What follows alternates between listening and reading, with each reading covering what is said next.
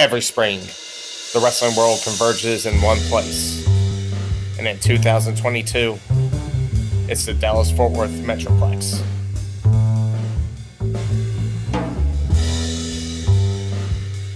And every year, hundreds of wrestlers come to these shows looking to be noticed. Ring setup, battle royals, scrambles, airport pickups, whatever they need to do.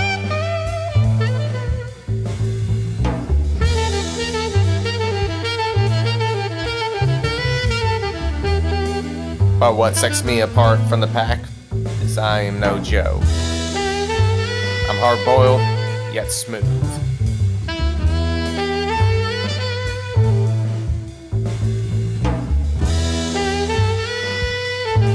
Six year pro, fully vaccinated, and available all weekend. Yes, even during the big show.